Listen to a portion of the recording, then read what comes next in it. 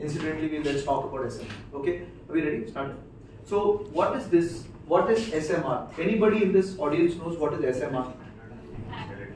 Huh? Standardized What do you understand by standardized? So SMR is standardized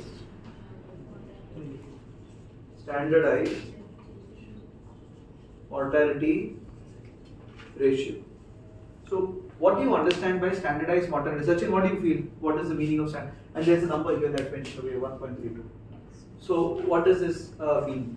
What do you feel? Anybody? Expected- So like hands up and. You want to answer? Yeah, tell me. Expected number, actual deaths by expected number of deaths.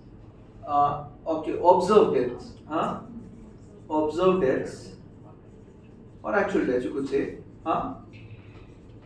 Divided by Expected ex, uh, expected number number of days. so logically, if this is more than 1, what does it, if this is equal to 1, what does it mean? Logically, okay, we thought this much is going to die, this much have died. Huh? When you say uh, less than 1, what does it mean? We actually had more people that supposed to die, huh? but lesser have died. That means the survival is better. This is what it tells, right? It's more than one. What does it mean? More than So what we had expected more than that have died. So it, it appears that uh, the ICU is probably not doing well. Sir, 10 by 10 is actually 0.8. The, uh, they put 10 by 12, Calculation. but the, this has come 1.3. I explain to you. Okay. So um, it's a It's bit point- उल्टा रहेगा. It will be 12 by 10. Most probably 12 by 10 होगा. वो गलत लिखा हुआ है sister. It's 12 by 10. Okay. So now anything about this? Anything that after looking at these words that I mentioned, standardized mortality ratio, why do you need it in the first place? Why do you need this in the first place? Why do you need to? Why don't we just take crude death rate? कि crude death rate means ऐसे 10 जन मर रहे हैं. ठीक है. Co- You say it is a quality indicator of the ICU. You are thinking that this is a quality indicator in the ICU. No, so let me explain to you this now. Okay, You have an ICU. You have an ICU that has got geriatric patients. So it's a geriatric ICU. So many places in the world have got geriatric ICUs. Or there is a uh, uh, and and you have another ICU that is a pediatric ICU. Now pediatric ICU pa- patients they do very well because the children they've got reserve they come out chances of death are very less one death happens and there's a lot, lot of issue happening they have a high chance or you take a pregnancy ICU uh, an LSCS ICU those patients have got good reserve those ladies come out very well isn't it pregnancy patients Hmm? now if I say that this patient may if I say in my geriatric ICU in my geriatric ICU, out of 10 patients, 7 have died. And now I say, in my pediatric or my pregnancy ICU, out of 10, only 1 has died. Does this mean that this ICU is better than this ICU? Why it doesn't mean? Expectations are more. Yeah. more Yeah, so you know by, by logical thinking that this geriatric ICU patient, uh, ICU patients are going to die more. No? They're old, 90, 95 years old, so they're going to die, right? Whereas these patients are not going to die. So how do I standardize this? How do I standardize this? How do, if I have to say I have uh, one ICU here, another ICU Nationwide Hospital, if they have got something like this and I have got something like this, but my case mix is different. My case mix is different, so I can't say उधर ज़्यादा लोग मरते हैं इधर कम लोग uh, जीते and my, that is why my ICU is better. My case mix is different.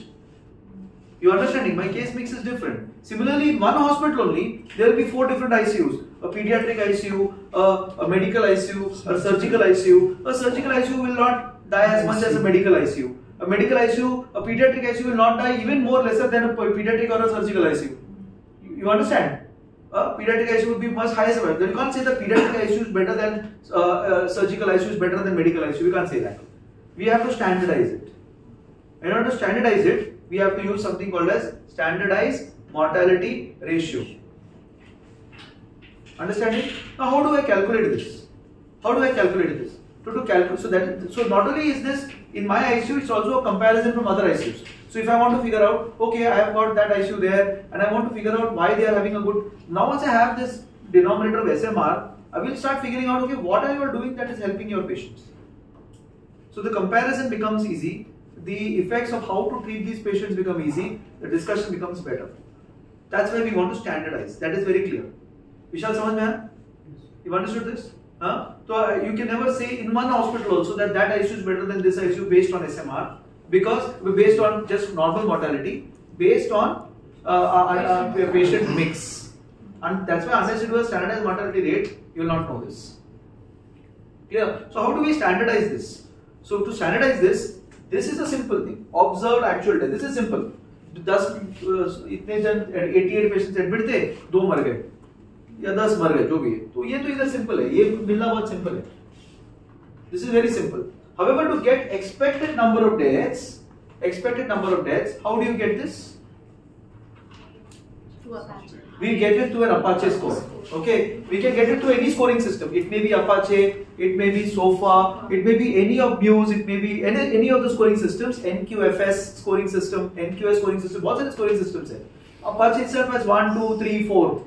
Okay, so you may take any of the Apache scorings, and in the Apache scoring, there is an expected mortality based on the score. There is an expected mortality based on the score. There is an expected mortality. So if I have say, one, two, three, four, five patients, okay, one will have Apache of 12, one have Apache of 18, one have Apache of 20, one have Apache of 21. They will have an expected mortality percentage, uh, expected mortality, expected mortality, expected mortality, expected mortality. You add up all these things. When you add up all these things, the end result over here will be put over here. You're understanding? Hmm? You add up all these things, okay, and the end result will come in over here. That is your expected mortality. So now your observed mortality versus your expected mortality ratio you are getting now. Clear? What is the problem? The problem over here is if by any chance you don't do the Apache well, if you don't do the Apache well, and you say just assume it to be whatever 5, 6, 7, huh? Then the expected mortality will reduce. So how do you find these expected mortality? So there is uh, so there is an Excel sheet that we have created. There's an Excel sheet that we have created. So when you put an Apache score, at the end of the month, that Apache score is taken, inserted into the Excel sheet, and that gives you this percentage. It is a mathematical calculation. So we know that at Apache 12 the mortality is 20% or 16%. We know at, at between 18 to 24 the mortality is some percentage. From 24 to 30 the mortality is some percentage. We know that. That is known from previous studies. Okay. And what we have done is we have created an Excel sheet which in which you don't have to you don't have to calculate this part. You just put the uh, Apache score and you will get the expected mortality in percentages. So 18% of the 0.88 ऐसा करके आएगा. समझ आ रहा है? ये सबको add करना है। ये सबको ऐड करके एंड में you get number okay that number will come here it's number it's a number so number here number here number of patients number of patients here that is how the answer comes this is percentage but it is a number it is a number of patients that will die expected mortality so many number of patients out of this patient 0.8% of this will die you understand number number है वो it's in it's in digits it's in decimals because it's percentage तो APACHE score क्या वो उसने वो गलत तो- दिया है Expected. equation. हाँ? एक्सपेक्टेड वाला अपाचे स्कोर एक तो वो हम लोग का जो एक we have a Excel sheet we have created an Excel sheet what you do over there is today you you have a patient you have got say patient A patient A का APACHE score enter कर दो उस पे. 15 patient B का APACHE score enter करो. 16 समझ लो. 12 entry जब करोगे तो उसके साथ एक्सपेक्टेड मॉर्टेलिटी आएगा. एंड एक्सपेक्टेड मॉर्टेलिटी को तुम ऐड करोगे तो एंड में तुम्हारे पास रिज़ल्ट आ जाएगा. Simple? Simple? So with that we are able to calculate your smr clear on this? With that so you see the excel sheet. Uh, i have shared it with uh, with rashmi and smita. So have a look at it okay? So that's how you calculate the standard. So what happens over here the problem over here that tomorrow if you do not calculate your apache scores well if you don't get apache scores well the percentages here will reflect on the lower side means that this patient is not supposed to die aega and this denominator becomes small. And when this denominator goes small your SMR will go more than 1 and if it goes more than 1 what will we start thinking? That oh my this patient shouldn't have died. Are you understanding? You understanding? Huh? One problem with this this scoring system like this is also the fact that age is not calculated here. Age is a very small denominator, but we know age is a big problem. So if you have a case mix on one on on one uh, particular uh, uh, you know uh, in one particular month, for example, three months we are doing Apache scores, and Apache scores of all these patients are 14 and 18 and 20, and all of them are more than 80 years old. All of them are more than 80 years old. You know, the, though though the Apache seems to be lesser, the expected mortality may change. There may be problems. So that, that is a problem with this particular method. There is a problem with this particular method. So it doesn't calculate everything together. It also doesn't calculate mixed and surgical populations also that well. So there is a problem in calculating this. Are you understanding? But this is so that that means to actually get this answer whether this is significant or not, sister. This is the next part of the story which you must understand. Okay. Now now that we got a number, now you understood how the number is generated. You understood how the standardized mortality ratio number is generated. You understood that. Now the now the question that comes is now the question that comes is is this number significant? We are thinking that the answers are uh, one less than one or more than one. This is too simplistic to understand. This is too simplistic to understand. As uh, as people who are actually calculating SMR, we should now figure out whether my number is significant. And in statistics, there is something called as confidence interval. In statistics, there is something called as confidence interval. What does the confidence interval mean? That I can say with confidence that this number is significant, that this number is right. I can say with confidence. Clear on this? I can say with confidence that this number is right. Huh? That is what is the confidence in, uh, meaning of confidence interval. So how do you proceed in this further? You proceed in this further by actually taking the square root of the observed death rate divided by the expected death rate. You do something like this. Huh? You do something like this. And then whatever number you get over here, you multiply this by 1.24. Okay. If this uh, number is between is between 1 uh, around 1 okay that means it is significant you get you get 1.24 over here you get an error here this is this is called smr standard mortality ratio error. You get a number here it will be 0.2 or 0.3 or something you'll get here. Once more i'm going back okay? Starting to starting. What we did we first got observed mortality so we got a number here this was say 1.3 in our case. We got 1.3 in our case. Ah sister so now this is very important. Then what you do? You do observed mortality square root divided by expected mortality. Another calculation that needs to be done in these patients. Okay, and after you do this, you will get a you will get some figure here. That figure may be 0.6 or something like that will come. I don't know, something may come here. Right? Huh? You multiply with this formula 1.24 into this. Huh? You multiply this formula 1.2 by, by into this, you will get a number here. That number you have to add to this number. Yeah. So you will so you will add and you will subtract. So if I have 0.2, if I have 0.2 as my number that I'm getting here, so it will be 1.1 to 1.5. But what I'm going to see is 1 included in this range. 1 is not included, 1 is before this. You understand? Clear on this? So this becomes now that means this 1.32 is significant. This is the complete SMR. If somebody asks you how to do the SMR, I have to not only calculate the SMR, I have also to calculate the significance of that number. And to find the significance of the number, I need to know the error. And how do I know the error? This is how I know the error, and that is why I put my confidence intervals.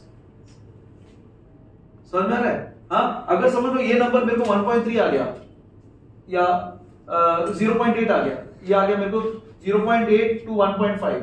Now it is in 1, not considered to be significant. So, when I add these two, 0.6 I add to this, to your 1.32 or whatever I add, I get one number this side, one number that side. Is it including one? That is what you see. That is what is called as standardized mortality ratio. So, हम लोग खाली 1.32 करके it is not good. We'll have to actually do it. Why? Why is this important? Why is this important? Because why why to do this is important. Now, why are you doing after because it's one minus one zero one? Why is why am I irritating you with all these calculations? why? There is a reason for this. So whenever you plot a significance, there is something called funnel plot. This is important for all IDCCM candidates, okay? IFCCM actually, not IDCCM. But for understanding a uh, study, you must understand there's something called funnel plot. So if you've seen my JPEN study, we have put a funnel plot there. What is the plot there? The plot is something like this. This is how a funnel looks. This is how a funnel looks. And when I say confidence intervals, there will be a segment when you actually plot it on statistics, you will get one dotted line that comes like this. Now what is this? This is 99% confidence interval. This is 95% confidence interval. Plus or minus. This is plus, this is minus. Okay. When will I say my everything is significant? Huh? That if I so I have I'm putting my patient in the SMR somewhere. The SMR is coming here, SMR is coming here, SMR coming here. This is okay. Okay. Okay. Now my if my if my SMR comes somewhere here, if this ICU is not uh, not okay. The lower the number of patients, the lower the number of patients, the more you will be on this side of the funnel. That means it may not be significant. So tomorrow, if you're going to do this calculation with 40 patients, you may be somewhere here, and the result may not be significant. If you're taking 100 patients, 150 patients, you may be here, where the result becomes significant. So that's why you must know your error that you may generate with any kind of calculation. Because at the end of the day, it is expected. It's not something that is sure. It's expected. So whenever there is something that you're proposing or you're expecting or you're thinking it is going to occur that way, there is going to be an error. Okay, and that error you have to iron out. And to iron out that error, you need to do that square root method. This I have just explained pictorially how it looks. The lower the cases, the more you're on this side, your chances of being up on these sides are very high. The number higher the number cases this way. So where am I? I'm here, I'm here, I'm here. I don't know. To know where I'm in this area, I actually need to do standard uh, standardized error, and that is what is the error calculation I talked to you about. Clear? Confidence intervals. Where I can say with confidence that okay, my result is significant. So it doesn't end by doing SMR system. If you ask me, it has to be done like this. Huh? Clear? Hmm? Any any doubts on SMR? Simple. Less than one, equal to one, more than one. It is simple for you. Okay, but you must uh, uh, and you don't need to know anything more than that. You just just, just need to know how we calculated that. हमने calculate कैसा किया हमने ऐसे calculate किया भाई observe death कितना है expect death कितना है उस उसमें हमने कैलकुलेट कर दिया for the nurses but for the doctors you have to be understanding whether this is significant or not. And to understand the significance, you need to know the error. That error is how we calculate in SMR. Clear? Any doubts here? Any doubts? You've understood why you have to do the standardized mortality ratio. You've understood what, what is the benefits of doing it. You've understood what are the fallacies of doing it. You've understood why you have to calculate an error and, and you can you have understood you know on a whole entirely about SMR. SMR is a is a topic. Okay. Okay.